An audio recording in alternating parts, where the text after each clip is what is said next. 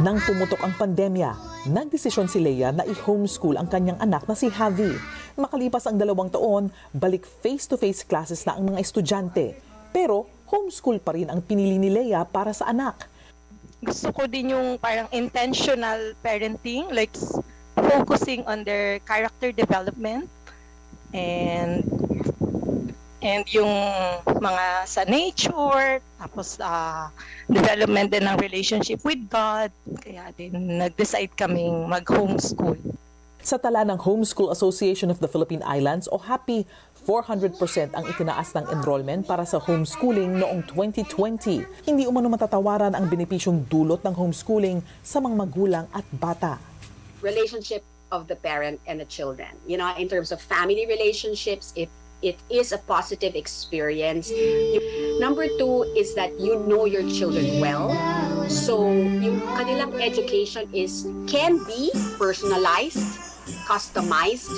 It can be parang adjusted for the learning, you know, of the child. It really allows the child to find their purpose, find their passion, find themselves. Natututukan, parang na-mentor ng mga magulang. Na-enjoy talaga namin kasi hindi siya uh, sobrang flexible. Like, kunyari, uh, meron kaming lakad, meron kaming travel. So, sabi nga, pag homeschooling, the world is your classroom. So, okay. Pero kailangan ding alalahanin ng mga magulang na hindi madali ang homeschooling. Sila o ang guardian kasi ang pangunahing guro ng mga bata.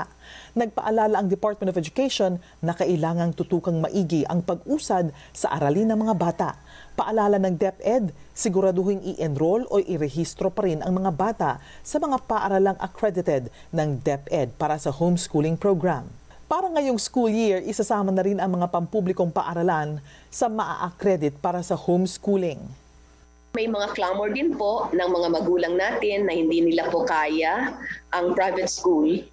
Uh, kaya gusto din nila na mabigyan natin ng patas ng uh, na oportunidad ang mga bata natin sa public school uh, para sa mga gustong mag-avail uh, ng homeschooling program po.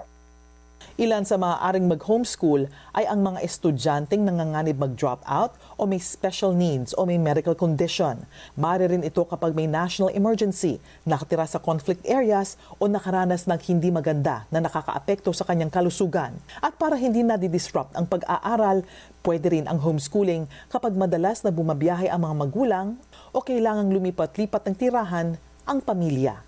Jasmine Romero, ABS-CBN News.